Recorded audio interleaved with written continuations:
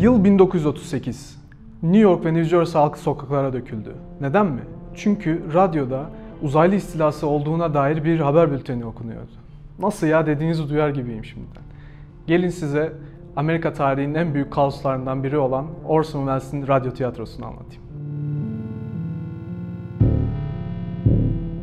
Orson Welles'i muhakkak duymuşsunuzdur. Yurttaş Kane, Üçüncü Adam gibi filmlerde rol almış ünlü bir oyuncu, yönetmen, aynı zamanda yazardır. Orson Welles'i tarihe not düşmemize neden olan bir olay daha vardır. O da 1938'de seslendirildiği bir radyo tiyatrosudur. Orson Welles 30 Ekim 1938 tarihinde Cadılar Bayramı'na özel bir program için CBS Radyo'nun mikrofonuna geçer. İşte tam da olayımız burada başlıyor. Çünkü Orson Welles radyo tiyatrosu için Dünyalar Savaşı olarak bildiğimiz War of the Worlds'u seçmiştir. Dünyalar Savaşı eserini seslendirmek için mikrofonun başına geçen Orson Welles aslında Amerika tarihinin en büyük kaoslardan birine neden olacağından habersizdi.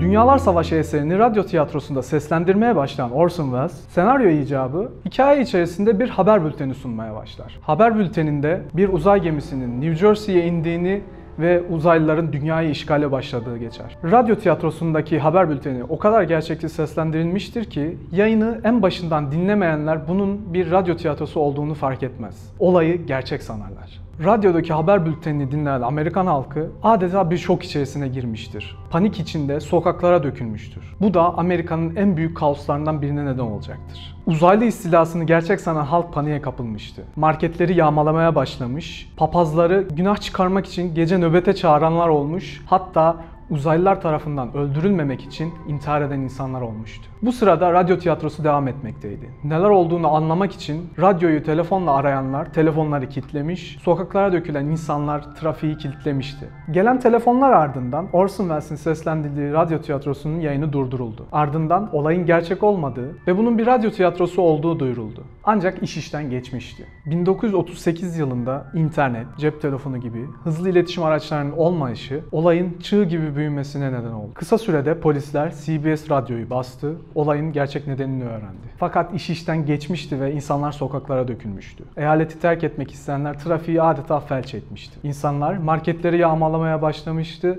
ve büyük bir kaos hakimdi. Birçok insan olayın gerçek olmadığını günler sonra öğrenebildi. 2-3 gün sonra bu olaydan haberi olan insanlar evlerine geri dönmeye çalıştılar. Orson Welles'in seslendirdiği radyo tiyatrosu birçok insanın ölümüne neden olmuş, maddi hasar yaşanmıştı.